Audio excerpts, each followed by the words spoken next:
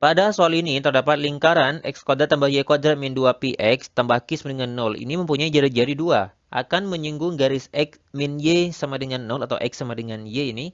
x sama dengan y. Nah, jika nilai p positif sama dengan jika nilai p positif ini sama dengan berapa? Nah, di sini akan diketahui lingkaran yang mempunyai jari-jari dua ini akan menyinggung garis ini. Jika nilai p itu positif, berarti nilai p-nya ini yang ditanyakan. Nah, selanjutnya bentuk persamaan umum dari persamaan lingkaran ini dirumuskan dengan x kuadrat tambah y kuadrat tambah x tambah y tambah c sama dengan 0. Mula-mula kita akan tentukan jari-jari dan pusatnya.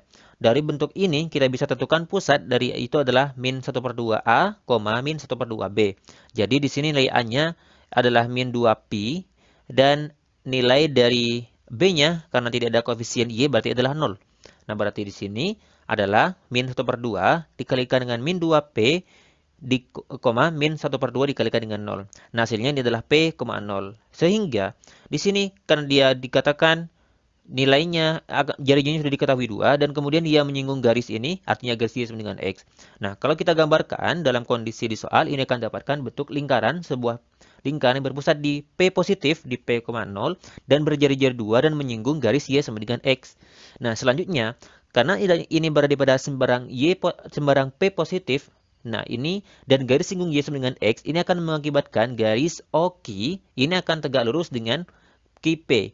Nah, dan OQ sama dengan R dan sama dengan KP ini sama dengan 2. Jari-jarinya 2 dikatakan di soal. Nah, kemudian OP ini merupakan nilai P pada absisnya. Jadi OP ini merupakan titik P sendiri itu. Karena berarti itu, berarti kita tinggal masukkan ke dalam rumus Pitagoras, yaitu adalah P sama dengan akar OQ kuadrat tambah PQ dikuadratkan. Hasilnya adalah OQ ini adalah 2, dan begitu juga dengan PQ ini adalah sama dengan KP, yaitu adalah 2. Berarti akar 2 dikuadratkan tambah 2 dikuadratkan, yaitu adalah akar 8 sama dengan 2 akar 2. Jadi pada opsi jawabannya adalah yang B. Sampai jumpa di soal selanjutnya.